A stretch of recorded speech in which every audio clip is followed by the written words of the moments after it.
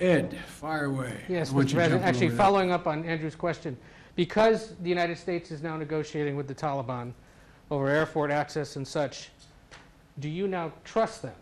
And then a question on the public response. A new poll out today shows Americans wanted to withdraw from Afghanistan, but they disapprove of the way you've handled it.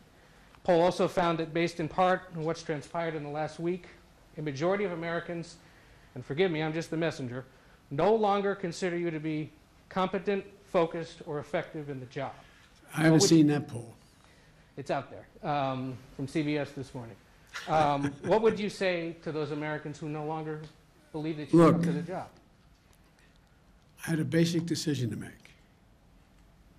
I either withdraw America from a 20-year war that, depending on whose analysis you accept, cost us $150 million a day for 20 years or $300 million a day for 20 years.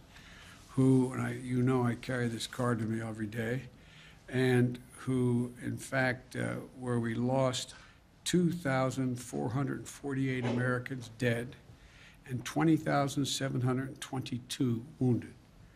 Either increase the number of forces we keep, we keep there and keep that going, or I end the war. And I decided end the war. As I said the other day, you know, the only reason we're in Afghanistan is this is the place from which bin Laden attacked the United States of America. Had this been in another Middle Eastern country where he could have easily have moved from, we would have never gone to Afghanistan. So the question is, when is the right time to leave? What are our national interests? Where do they lie?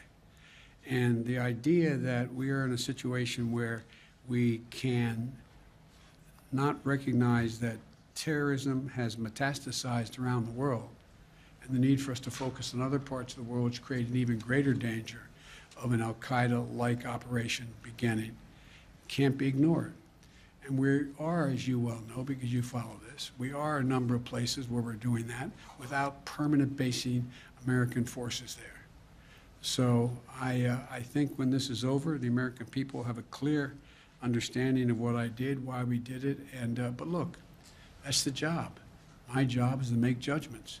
My job is to make judgments no one else can or will make.